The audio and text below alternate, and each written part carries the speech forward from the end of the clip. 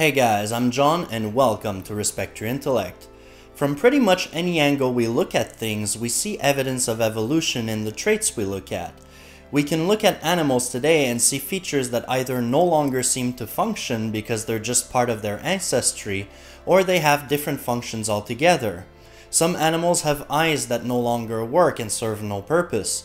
Some whales have hip bones that serve no purpose. Some snakes have leg bones buried in some of their muscles. And we ourselves have a lot of features that no longer serve any purpose, like our appendix, wisdom teeth, goosebumps, as well as many others.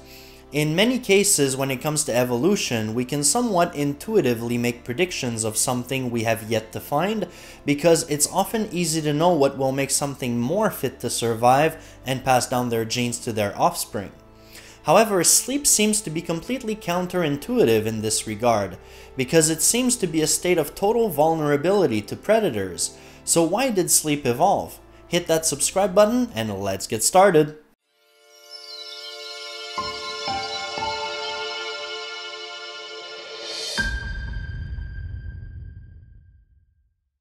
There's something generally agreed upon by most people today, and that's that sleep has regenerative effects.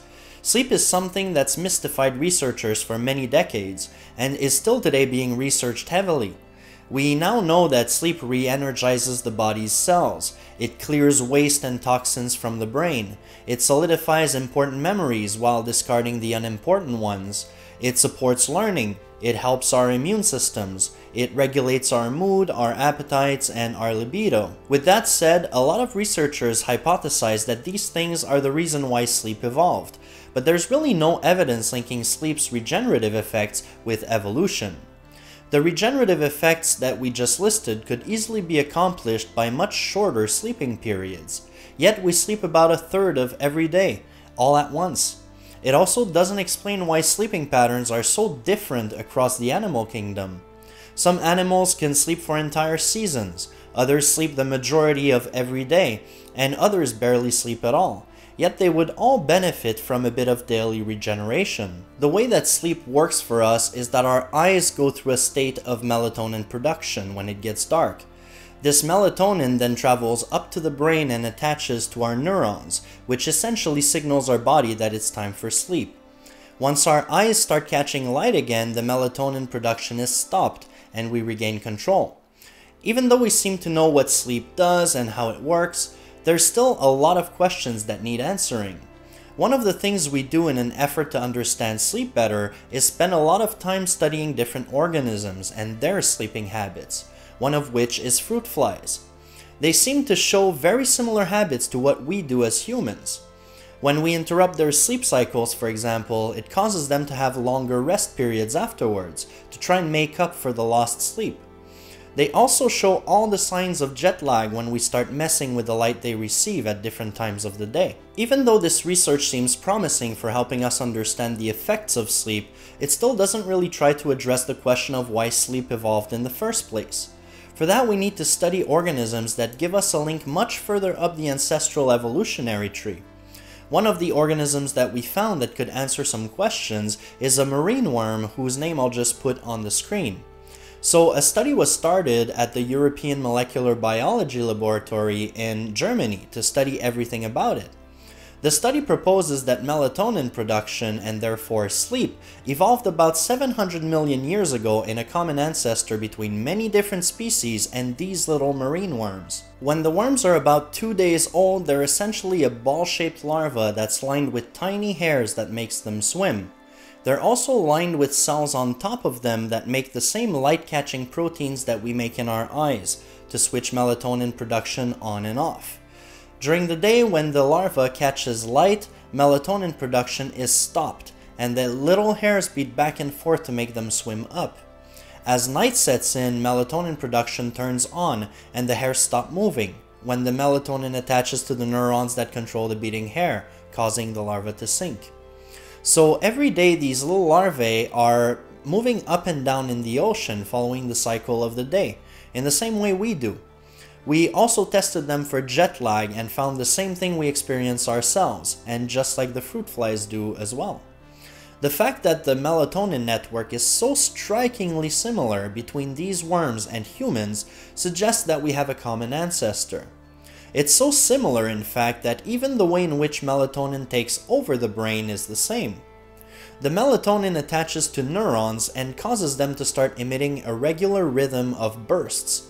With these neurons busy doing their own thing, they're no longer relaying information to the rest of the brain. In our case, it's our thalamus that shuts down, while in the worm, it's the part that controls the beating hair. If you weren't aware, our thalamus is the part of our brain that's responsible for uh, relaying motor and sensory signals to the rest of our brain which explains why you don't really move much while you sleep and why you don't really wake up from little noises. Alright, so we covered a lot about what sleep is, how it sets in, and even when it might have first evolved. We even talked a bit about the lack of evidence with the claims that it evolved because of its regenerative effects. So if it didn't evolve due to its regenerative effects, the question still remains. What's our best hypothesis today as to why sleep evolved in the first place? After all, every trait we look at in evolution exists because it contributes to the fitness of that organism to survive and pass on their genes to the next generation. Sleep, however, is a state of total helplessness that doesn't seem to benefit our fitness for survival, at least not at first glance if the regenerative effects are set aside. The first thing we need to look at is what's common among all the species that sleep, and what we find is that even though every species that sleeps have different cycles from each other, they're mostly always aligned with their food source's activity cycle. When you take this into account, it really does make sense that preserving energy when there's no food around would benefit our survival. Another thing that seems to mostly always be aligned is that species sleep mostly during the times of the day that they're the most vulnerable to predators. This is also something beneficial for a species, because you're essentially hiding and regenerating while you're the prey, and using up your energy reserves while you're the predator, and there's a lot more food around. So between a creature that doesn't sleep and takes high risk for very little food, and a creature that avoids risk and uses up its energy when there is a very high chance for success, it's not hard to imagine that the latter will outlive the former. In any case, one thing is pretty certain, and that's that if sleep evolved, it's because it's beneficial for our survival. Simply because every old trait is. It's only in our very recent history that we actually have enough control over our environment to allow the unfit to survive. Otherwise, nature would simply take its course and eliminate the quote unquote weak.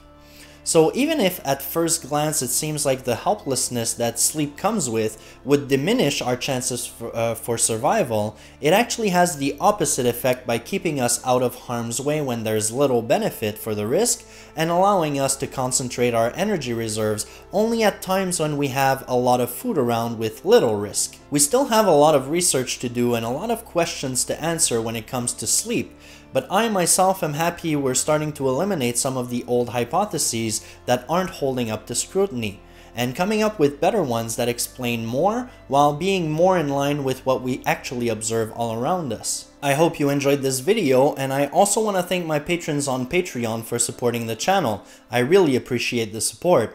If you want to see more answers to interesting questions, make sure you subscribe and click that bell notification so you don't miss out on the next videos in this series. If you have any interesting questions of your own that you've never thought to look for an answer, don't hesitate to write it down in the comments and contribute to this series. You can also check out my website at respectyourintellect.com for all the information and videos on this channel. Until next time, thanks for watching and remember, respect your intellect.